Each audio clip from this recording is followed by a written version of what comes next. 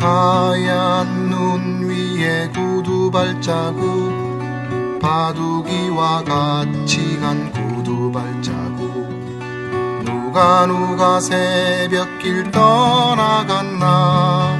외로운 산길에 구두 발자국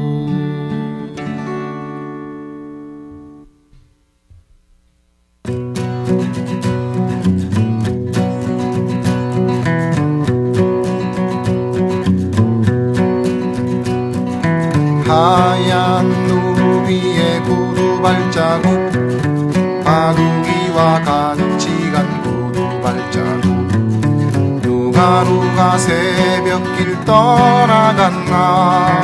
외로운 산